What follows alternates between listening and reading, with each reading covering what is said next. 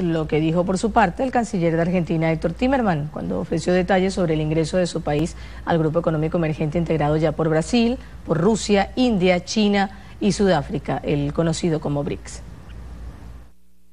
Antes que nada, quiero decirle que la Argentina es miembro de muchas organizaciones eh, internacionales, entre ellos grupos como el G20. Eh, obviamente vemos con mucho interés el desarrollo que han tenido los BRICS eh, en la política internacional. contamos generalmente en estos grupos internacionales que formamos parte, en general trabajamos muy muy cerca de los países miembros de los BRICS, eh, pero respetamos las individualidades y creemos que son los BRICS los que tienen que definir ese, ese tema eh, y no la Argentina. Decenas